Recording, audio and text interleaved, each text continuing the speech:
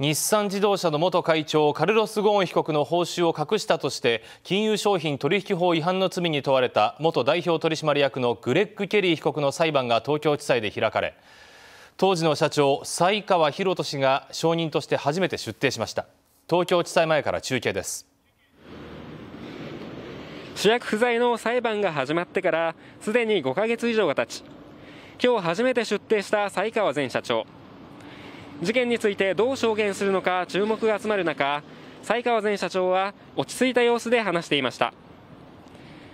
この裁判は日産の元代表取締役グレッグ・ケリー被告がゴーン被告と共謀し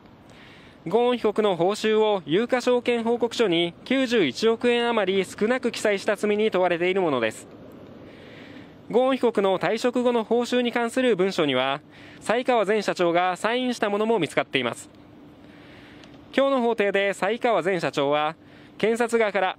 ケリー被告との間でゴーン被告の報酬が話題になったことはあるかと質問されると。ゴーン氏の報酬はグローバルの水準に比べて非常に低い。退職後の処遇を手厚くすべきだとケリーに話されたと答えました。また役員報酬を開示することについてゴーン被告が君たちも嫌だろ私も嫌だと言っていたと証言しました。